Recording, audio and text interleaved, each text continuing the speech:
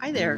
Hey, Horsaholics. Um, today, oh, I don't even know what today is. Let's see here. This would be day six.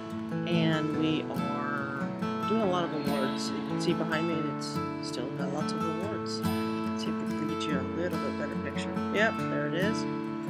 Um, and getting them out there in those arenas. I'm sharing the pictures with you as we build the awards tables and sorts of stuff going on. A lot of adventure here. Not really showing the the, uh, the arena um, performances because, quite frankly, everybody's seen those things most of the time. And then if you're into going around in circles, you're really you've seen that stuff. So I'm going to show you the back end of U.S. Nationals or AHA. Hopefully you're enjoying it.